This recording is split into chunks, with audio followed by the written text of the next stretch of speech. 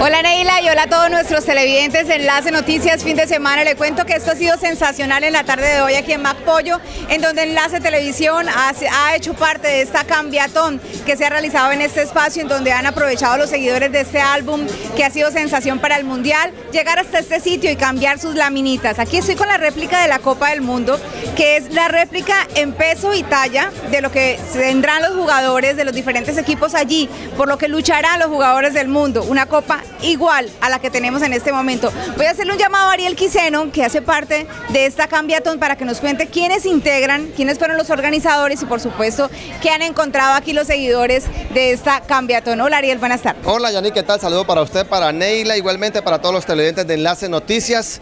Eh, esta ha sido una espectacular actividad, una parte, un evento muy bonito en la parte social, donde se ha vinculado Enlace Televisión, el Asadero Macpollo, el programa Pasión por el Deporte de Enlace Televisión y el programa Contragolpe, donde gracias a estas cuatro empresas hemos tenido premios, regalos, vea camisetas, por ejemplo, para los asistentes, hemos regalado pollos, vasos, sombrillas, muchos regalos, gracias también a nuestro amigo Damián Castillo de la Saroma Apoyo y a toda la dirigencia de, de, Enlace Televisión. Una tarde bonita, espectacular aquí, eh, previo al Mundial ya, prendiendo la fiesta del Mundial de Rusia 2018. La verdad es que hasta aprovechamos en nuestra casa para llenar el álbum, para llenarlo no, perdón, para encontrar algunas láminas que no teníamos en nuestro álbum. Voy a correrme por aquí, Ariel, gracias. Cosa bonita, Perdón. Lo, los amigos tomando la foto con la, con la réplica de la copa, ¿no? Así Espectacular es. también. Ha sido una tarde agradable, mire, yo les quiero mostrar por aquí un señor que ha llegado con su pequeño hijo y ya llenó el álbum, lo tiene completo, o sea, está llenando otro álbum. Buenas tardes. Buenas tardes, eh, mucho gusto, John Freddy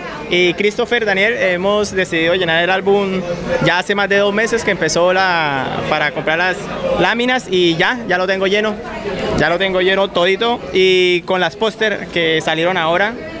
¿Podemos saber cuánto invirtió en su álbum?